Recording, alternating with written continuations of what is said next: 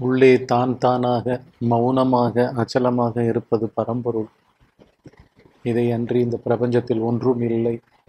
இதுவே அனைத்துமாகவும் இருக்கின்றது.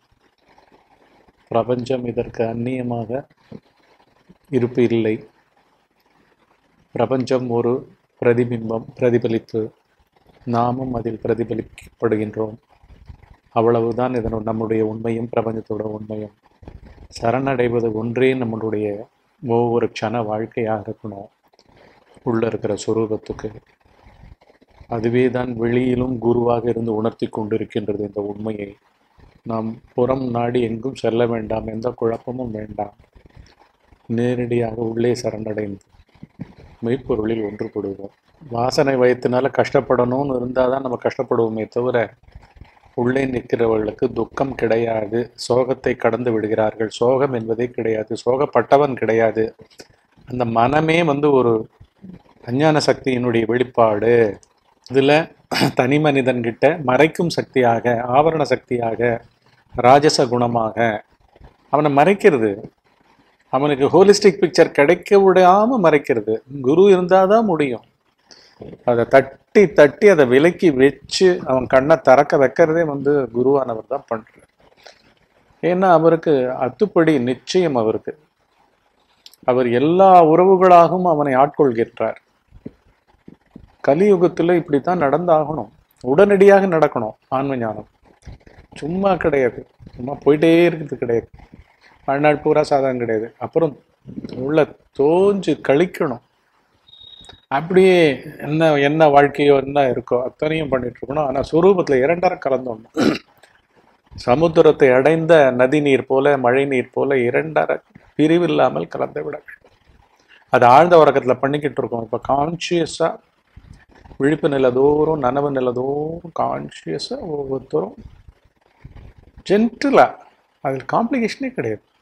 கன்ஃபியூஷனும் கிடையாது.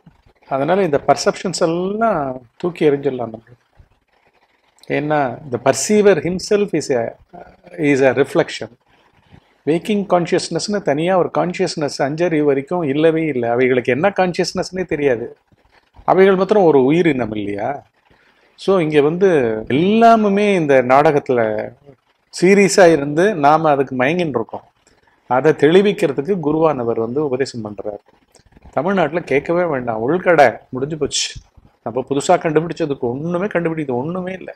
அப்படி அப்படியே எடுத்து எடுத்து ஒரு சாஃப்ட்வேரை ஒரு மாதிரி ஒரு ப்ரோக்ராம் பண்ணி தயாரிச்சிட்டாங்கன்னா எடுத்து எடுத்து பிரிண்ட் டை அடித்து அடித்து ஒவ்வொரு லேப்டாப்லேயும் வச்சு ஒவ்வொரு மொபைல்லையும் வச்சு அடித்து லட்சக்கணக்கில் ஆயிரக்கணக்கில் ப்ரொடியூஸ் பண்ணி அனுப்புகிறாங்களே அவ்வளோதான் அதே போல தான் நம்ம வந்துக்கிட்டு இருக்கோம். அங்கே அந்த அந்த அந்த அந்த மாட்டின்றதை உடைக்கிறார் அவர். ஞானிக்கு தான் அது முடியும். வேற யாருக்கும் முடியாது. அந்த அருகதை கிடையாது. அவர் உடைச்சு இரவியாது இதுவாது ஆல்ரெடி நீ பிறக்கலப்ப. சும்மா போய் அந்த உடம்பெல்லாம் போய் நீயா போய் என்னமோ பிளம்பிங் கனெக்ஷனையும் ட்ரைனேஜ் கனெக்ஷனையும் எலக்ட்ரானிக் கனெக்ஷனையும் நியூரல் நெட்ஒர்க்கையும் தாட்டையும் பிடிச்சிக்கிட்டு நீ தொங்கிட்டு இருக்காத. எந்த உடம்பா இருந்தா நீங்க அந்த உடம்புக்கு எப்படிங்க திங்கர் ஆகும்? திங்கர் எங்கேயோ ஒரு பயங்கரமான இல்யூஷனு பார்த்தா தான் இருக்க மாட்டான். பார்த்துட்டே தான் இருக்கணும். ஒரு சைடு சசங்கம் உள்ள பார்த்துக்கிட்டே இருக்கணும். அவ்வளோதான் தெளிவு. ஆன்மஞானம். ஆன்மஞானம். வேற ஒன்றும் இல்லை. ஆன்மஞானம் இமீடியட்டா அங்கே என்ன இருக்கோ அது ஆன்மஞானம். அதுதான் ஆன்மா சுரூபம். அங்கே தான் போய் முடியும். அங்கதான் முடிக்க முடியும். இல்லாட்டி முடியவே முடியாது. பிறப்பு பிறவு வந்துகிட்டே இருக்கும். அவ்வளவே இதனுடைய சாராம்சம்.